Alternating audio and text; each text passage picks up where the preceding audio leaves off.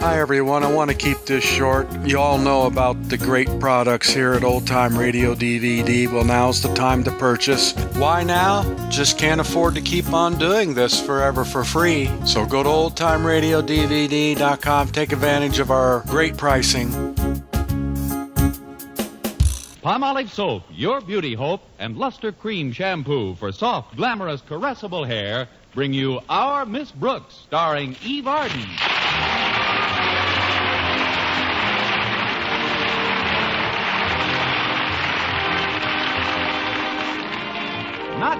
Many of us like to get up early in the morning, but our Miss Brooks, who teaches English at Madison High School, doesn't seem to mind at all. No, in fact, I get quite a kick out of waking up in the morning because it offers proof positive that I managed to live through the day before. However, last Wednesday, my landlady, Mrs. Davis, woke me at what seemed like an excessively early hour. Connie, get up, Connie. Why? Because it's 6 a.m. and I'm leaving the house early, and there are several things I want you to do for me. Oh, like what, for instance? Like feeding our cat Minerva at five minutes after seven. But why don't you feed her now? Why, Connie, you ought to know better than that. Minerva never gets up until seven. I'm sorry, I lost my head. that cat certainly doesn't lead a dog's life. But why are you leaving the house so early, Mrs. Davis? I've got to visit my sister Angela. I received a message from her during the night. Oh? I hope nothing's wrong. No, she's quite well, she said. She just wants to see me. She must have called pretty late. I didn't hear the phone ring at all. Oh, she didn't phone, Connie. Was it a wire? No, Special delivery letter? no. Walkie talkie? Pigeon? Before I use up my 20 questions, how did you hear from your sister? Well, you know how absent-minded Angela is. Yes. And you probably haven't noticed it, but lately I've been growing quite absent-minded, too. I've noticed it. Last night, I finally arrived at a point where Angela and I were tuned to the same wavelength. She reached me by mental telepathy. How did she come over, AM or FM? You can joke if you like, but I know just as surely as I'm standing here that Angela wants to see me immediately. So um, I'll have to leave right after breakfast. All right, Mrs. Davis. It'll do you good to get out of the house for a change anyway. Now, what did you want me to do for you? Do for me. Yes. You said when you woke me that there were several things you wanted me to do? I did. Yes. In connection with your leaving the house this morning? But I didn't leave the house this morning. I know, but you're going to. I am. I must be tuned in on the wrong wavelength. I'll see you at breakfast, Mrs. Davis.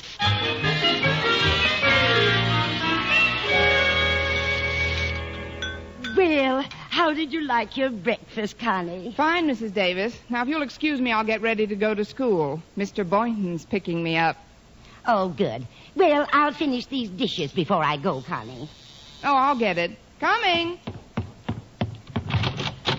Well, if it isn't our school custodian, Mr. Jensen. If it isn't your school custodian, Mr. Jensen, then what? When you opened the door, you said, Well, if it isn't our school custodian, Mr. Jensen. Mm-hmm. Then I said, If it isn't your school custodian, Mr. Jensen, then what?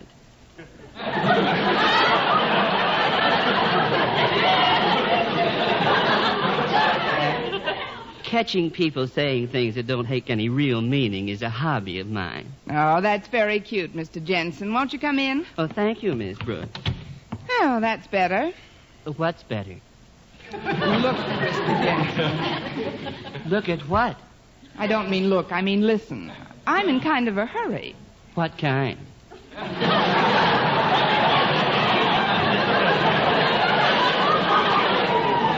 The usual kind. To leave the house and get to school. Therefore, your hobby doesn't have the charm for me it might have at some other time. I guess you've got me there. Where? Oh, great.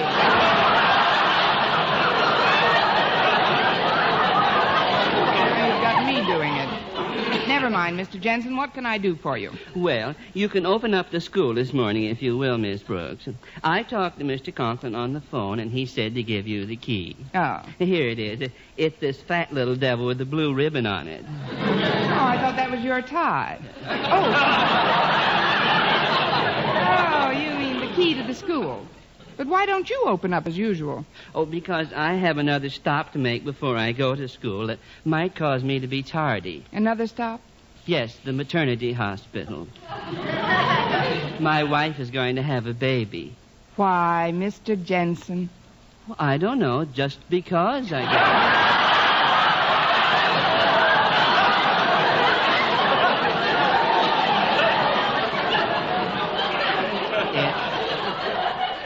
It's our sixth child, Miss Brooks.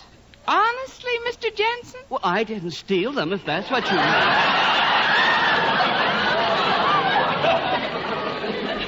well, I, I'd better be getting along now. My, my wife will be expecting me. She's sort of used to having me around. I imagine she is, Mr. Jensen. Please accept my heartiest best wishes for both of you. Oh, thank you, Miss Brooks. May I remind you to be prompt in opening the school? I wouldn't want Mr. Conklin and the students to be kept waiting. Now, they won't be, Mr. Jensen. And be sure and let me know whether your wife has a boy or a girl. I will, Miss Brooks. Good day, Mr. Jensen. Yes, it is, isn't it? I'll just put this key on the hall table here so I don't forget it. Oh, Connie, will you come into the kitchen a moment, please? Yes, Mrs. Davis. I'm all finished with the dishes, and I'd like to leave immediately. Now, Connie, when you make wake Minerva, be sure to wake her gently. She's been quite sensitive about noise ever since she fell into my new Speed Queen washing machine. I don't know why. It did a very good job on her. but I'll be careful not to upset her, Mrs. Davis. Oh, here's Minerva now. Good morning, dear. How did you sleep? I'm glad. Well, I'll be running along now. You'll give Minerva her milk, won't you, Connie? Oh, certainly, Mrs. Davis. Remember me to your sister Angela, if I you will. remember. I will, dear. Uh, put a little cream in with the milk. She likes it that way. All right, Mrs. Davis. That is, if we have any cream. Here we are. No, no cream left. She'll have to drink it black. I'll just pour the milk into this dish. There you are, Minerva. There isn't any cream left, Minerva. We'll have cream for you tomorrow. Drink that milk or I'll turn on the washing machine. Yeah.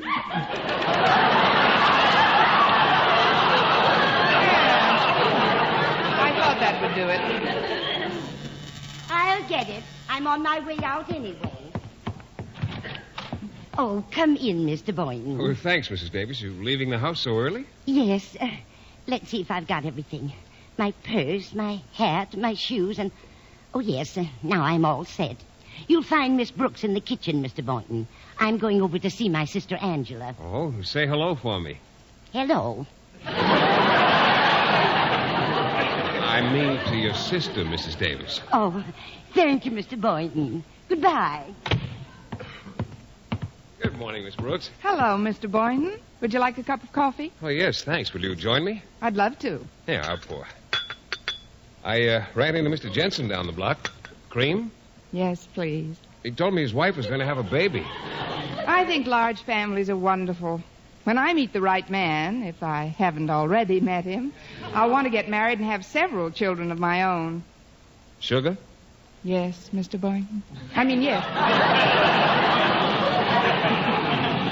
Say, look at the clock. We'd better hurry with this coffee. Oh, you're so right, Mr. Boynton. And before we go, I'd better unlock the back door. Mrs. Davis invariably forgets her key. Oh, she didn't forget it this time. When she was leaving, I noticed she took a little fat one off the hall table. She took the little fat. Mr. Boynton, that was the key to the school. Mr. Jensen asked me to open up this morning. Oh, no, Miss Brooks. Oh, yes, Mr. Boynton. Oh, gosh. Pretty soon, Mr. Conklin and all the students will be arriving at school. and Nobody will be able to get in. Mr. Conklin will be furious at you. Don't remind me. I can see the sparks flashing from his tongue already. Gee, I'm in quite a spot, aren't I? Aren't I? That shows how upset I am, Mr. Boynton. An English teacher should never be guilty of saying aren't I. Uh, But, Miss Brooks, what about school? Suppose we hurry over and Aren't is things. merely the contraction of are not. Therefore, one who says aren't I is guilty of saying are not I. Miss Brooks, what the correct form is am I not? Aren't I being nothing more than an absurd and altogether ungrammatical affectation. Miss Brooks, what about school? I ain't going.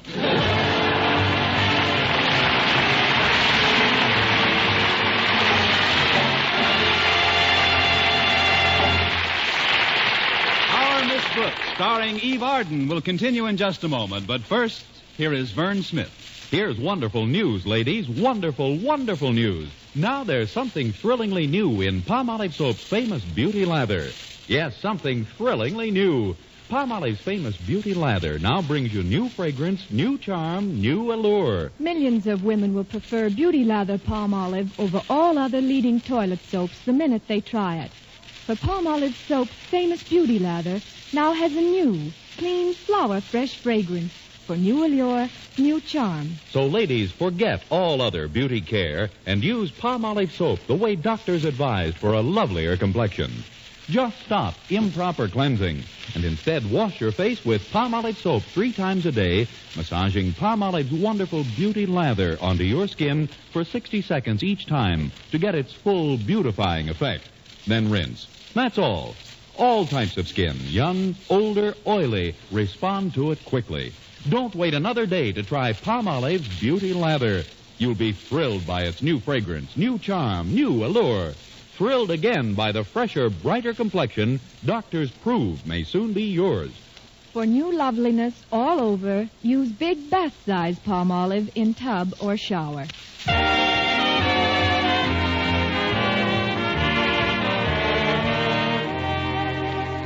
Well, I finally decided to face the music, even though I knew that the music would consist of some angry pear-shaped tones emanating from Mr. Conklin's pear-shaped head. By the time Mr. Boynton dropped me off, there were so many students milling around dear old Madison High that it looked like a training school for young pickets. I found Mr. Conklin pacing up and down outside his office windows. Ah, there you are, Miss Brooks. Good morning, Mr. Conklin. It's about time. Now then, if you'll give me the key. The key. Yes, the key. Let me have it. I'll let you have it as quickly as possible. There is no key. No key, but Mr. Jensen was supposed to He be... did, but then I put it on a table in the hall, and Mrs. Davis took it with her to her sister Angela's. It wasn't really my fault, Mr. Conklin. I don't just- care whose fault it was. We've got to get into this school, and quickly. You see, Miss Brooks, the Board of Education is presenting Madison High with a plaque today. A plaque? For what, Mr. Conklin? It's an award for the best attendance record of any high school in the county. Really? Why, that's wonderful. Congratulations, Mr. Conklin. Thank you, Miss Brooks, but I'd rather receive your felicitations inside my office instead of out here. That's your phone, isn't it, Mr. Conklin? Yes, yes, it is.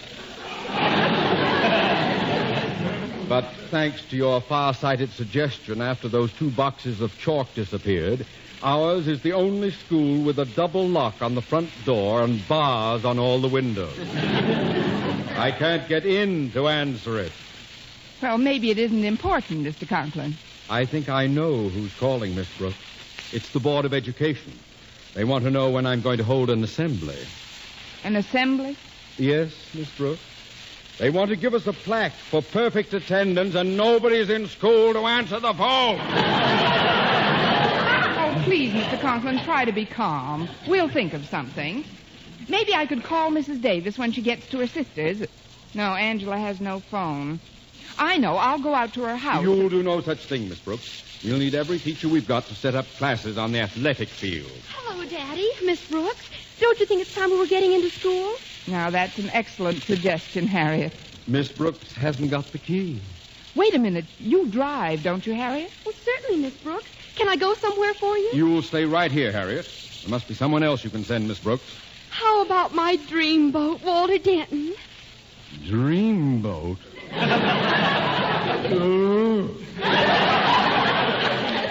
He's an idiot. But, Daddy, Walter's a wonderful driver. He'll pick up the key wherever it is and have it back here in nothing flat. Nothing but his head, that is. Well, maybe that's a good idea. Miss Brooks, get Denton to drive out to wherever Mrs. Davis is. At least his brain is expendable. All right, Mr. Conklin. I'll look for Walter and ask him to go after the key. You won't have to look for him, Miss Brooks. Walter's coming over right now. Well, if it isn't my light of love. Greetings, fair Harriet. Uh, bonjour, Miss Brooks. And to you, esteemed principal, felicitations.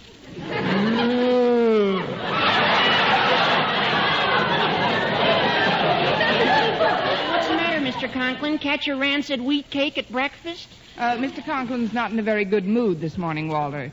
You see, today's the day the Board of Education is supposed to award Madison a plaque for its fine attendance record. Well, what's bad about that? Let's get into the jolly institution and snag that little beauty.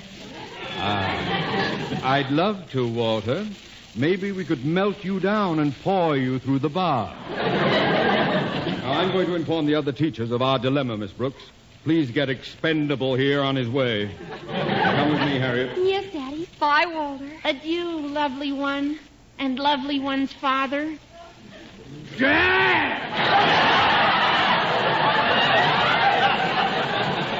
You know, Miss Brooks, there are times when I sense an animosity in that man. Now, what do you suppose could cause such a reaction? Hatred, for one thing. Now, please listen carefully, Walter. You know Mrs. Davis's sister Angela, don't you? Oh, sure, Miss Brooks. I gave Mrs. Davis a ride out there last week. Good. Do you remember where she lives? Well, it's way on the other side of town. I didn't notice the address, but I think I could find it. Uh, there was a mailbox on the corner. A mailbox. Isn't there anything else that would help you identify it? Well, nothing outstanding. What color was the house?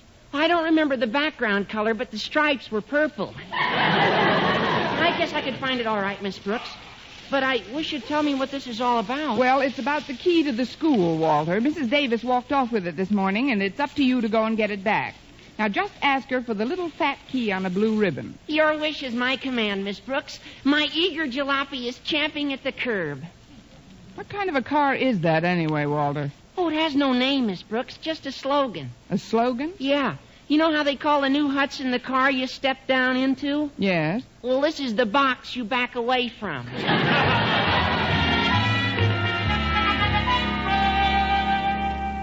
Well, Miss Brooks, it's over an hour since Denton left, and he's still not back with that key. I'm sure it won't be much longer, Mr. Conklin. Here goes that phone again. I wish Mr. Stone would stop calling my office. I know one way to stop him, Mr. Conklin. We can go to the malt shop next door and call him. That way you can stall him off till Walter gets back with the key. Oh, that's not a bad idea. Better than standing around listening to that phone. Come on, Miss Brooks. Well, here we are, Mr. Conklin. Martin's Malt Shop, Madison's unofficial annex. After you, Miss Brooks. You. Well, if it isn't Miss Brooks. Hi, Marty. Sneak away from the ogre for a little fizz water? No, the ogre is along today. Sorry, Mr. Conklin. Just a little nickname I picked up from the kids. Why, I'm surprised at you, Marty. Nobody at Madison calls Mr. Conklin by anything but his right name. Well, I'm happy to know that, Miss Brooks. Oh, here's the phone booth right over here, pear shape. Uh, Mr. Conklin.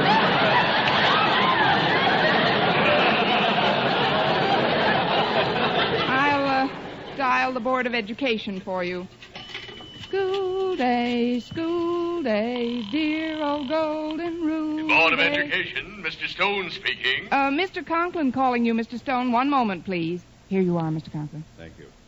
Hello, Mr. Stone? Is that you, Conklin? Uh, yes, it is, Mr. Stone. I might as well have a Coke while I'm waiting. Well, it's about time. I was beginning to think that Madison High School had slid into the sea. Well, uh, I I had to step out of my office for a minute, Mr. Stone, but I'm back in it now. Yes, sir. What's that? What's what? Osgood, are you hissing me?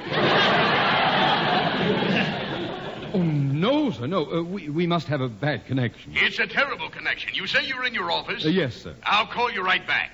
But, Mr. Stone. And for heaven's sakes, don't disappear again. Goodbye. Uh, wait, Mr. Stone. Wait, uh, Mr. Wait, Mr. St- This is the last straw. What did he say, Mr. Conklin? He said he's going to call me right back. Now I'm in deeper than ever. Oh, we'll figure some way out of this. After all, Mr. Stone is only a human being. A human being who happens to be the head of our local board of education. Oh, this is awful. Excuse me, Daddy, but the telephone in your office is ringing. The telephone in your office is ringing. What do you suggest, Harriet? Well, I don't know, Daddy. But don't worry. I'm sure Walter won't fail us. He'd better not. Now, Miss Brooks, I'm going over to inspect the classes that have been set up on the athletic field. I want you to call the board and talk to Mr. Stone. Me? But what should I tell him? Improvise. Oh, but Mr. Conklin. Call him off, Miss Brooks. I'm counting on you. Oh, great. Well, I might as well get it over with. What are you going to tell Mr. Stone, Miss Brooks? I don't know yet, Harriet. I'll wait till he answers. Hello, Mr. Stone speaking. Hello, Mr. Stone. This is Miss Brooks at Madison High. Yes? I'm calling from Mr. Conklin's office, Mr. Stone. He asked me to call you. Give me a double strawberry temptation, Mark. Oh, he did. Uh, what about, Miss Brooks? About his not being able to talk to you for a while. What in the world is that sound? Oh, that's the radiator, Mr. Stone. It's defective. Radiator? In tune? Well, they're just testing it. As a matter of fact, that's why Mr. Conklin can't talk to you. One of our students was just in his office, and this jet of hot water started out of the radiator, and Mr. Conklin jumped in front of the boy to save him and accidentally knocked out six of the boy's teeth.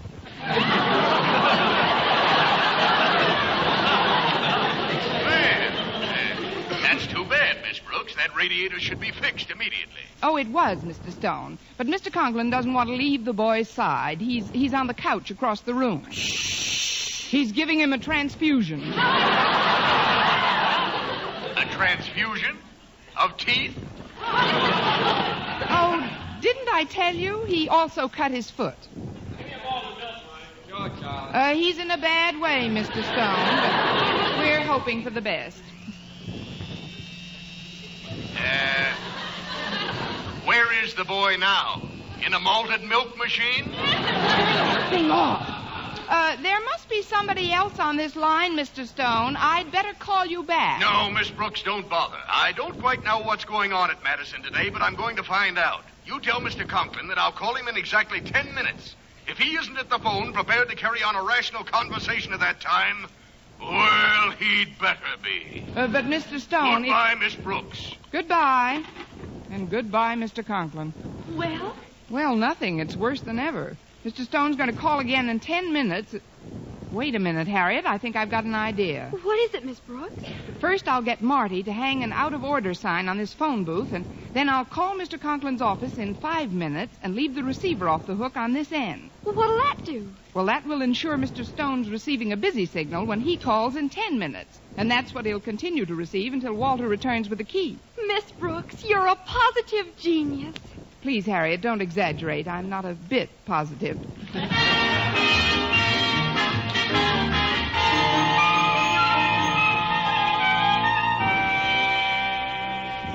Please calm down, Daddy. I'm sure Walter will be back any minute. Oh, that Denton. Instead of sending him for the key, I should have sent some other idiot. I should have gone myself. He's nothing but an unreliable laggard, a detestable, nauseating, blundering knucklehead. Excuse me, Mr. Conklin. Here's the key. Bless you, boy. well, don't stand there, Denton. Open the door. Yes, sir. There you are, sir. Out of the way, out of the way. Now to get that phone. It must be Mr. Stone. Well, I'll just give him a piece of my mind. If he thinks he can hound me all day. Hello? Osgood Conklin speaking. Hello? Hello? There's no dial tone. Some lame brain must have called this number and left the receiver off the hook. Hello? Hello? Hello? Mr. Hello? Conklin, uh, Mr. Conklin, sir, I found this telegram under your door. Uh, telegram? Let me see that. Uh, let's see. Well, it's from Mr. Stone. It says, Dear Osgood, realizing the futility of trying to reach you by telephone, I hereby inform you that the Board of Education has authorized you to suspend classes for the remainder of the school day in recognition of Madison's splendid attendance record. Gosh, Mr. Conklin, does that mean there's no more school today? Evidently, Walter. Now, please go out to the athletic field and inform the teachers and students of my decision to give them the rest of the day off. Ah, yes, sir. Oh, before I go, I better bring you back the key. I left it in the door. Now, just leave it there. I've got a little work to clean up. I can get it on my way home.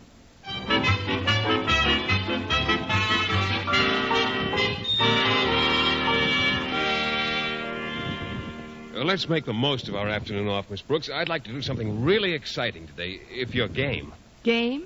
Miss Brooks, I'd like to take you to the zoo. I'm afraid that's a little too gamey for me, Mr. Boynton. I'd, I'd much rather go to a movie. Say, we must be the last two people on the grounds. I feel like. Oh, excuse me a minute. Oh, what's wrong, Miss Brooks? I just noticed the front door. Walter left the key in it. You know, the extra lock was my idea. Yes, I know. Mr. Conklin's been so worried about this key all day, I'm not going to take any chances. What are you going to do, Miss Brooks? I'm going to lock up the school and mail this key to Mr. Conklin.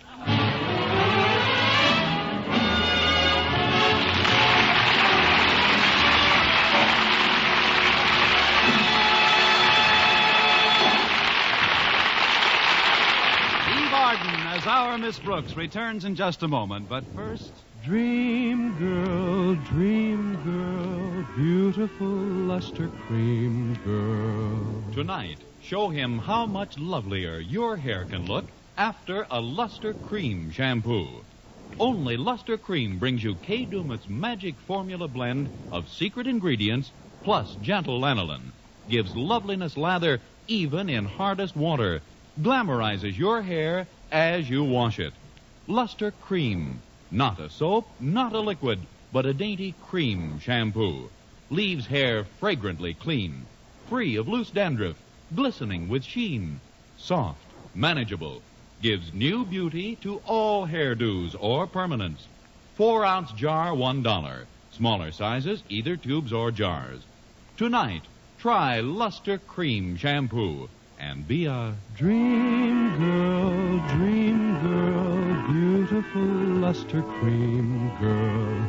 You owe your crowning glory to a luster cream shampoo. And now, once again, here is our Miss Brooks. Well, after I mailed the key, Mr. Boynton took me to the zoo. Then we had a nice Dutch dinner, saw a very exciting movie, and wound up at Marty's malt shop. Uh, give us a couple of malters, Marty. Coming right up, folks. That certainly was a terrifying picture, especially when Lucy starts to hear the voices. Oh, I don't know. Lots of manic depressives wind up like that. Be- beg pardon, Mr. Boynton? I didn't say anything. Oh, I guess it's the effect of that movie. Hello, hello. Can you hear me? Won't somebody answer me? Now, wait a minute. I'm not that far gone. Hello out there. It's coming from the phone booth. I better see what that is. Well, that's funny. The receiver's still off the hook. I... Hello? Hello? Is that you, Miss Brooks? Yes, Mr. Conklin? It is indeed. Have, have you been trying to reach me, Mr. Conklin? I have indeed. Oh, if it's about the school, Mr. Conklin, you don't have a thing to worry about. I locked it securely before I left the campus. Nobody can possibly get in. That's not what I'm worried about, Miss Brooks. I'm worried about getting out. You mean? oh, no, you're not still. Yes, I'm still. Now get over here with that key. Yes, sir. Right away, sir. The key. Oh, Mr. Boynton, do you think you could lift me up? Why, of course, Miss Brooks. Good. Let's get down to the corner. I want you to slip me into the mailbox.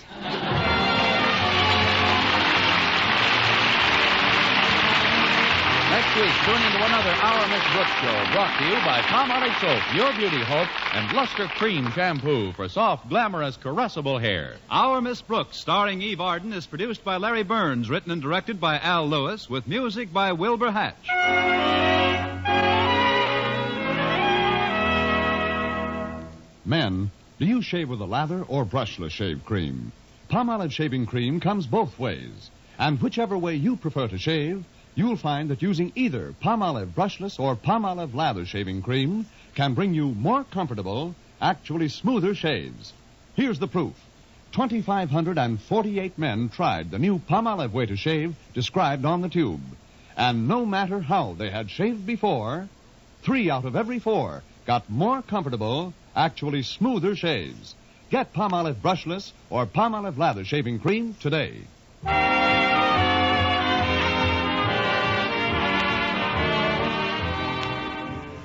For mystery liberally sprinkled with laughs, listen to Mr. and Mrs. North, the exciting, fun packed adventures of an amateur detective and his beautiful wife. Tune in Tuesday evening over most of these same stations. And be with us again next week at this same time for another comedy episode of Our Miss Brooks. Bob LeMond speaking. Stay tuned now for Life with Luigi, which follows over most of these stations. This is CBS, the Columbia Broadcasting System.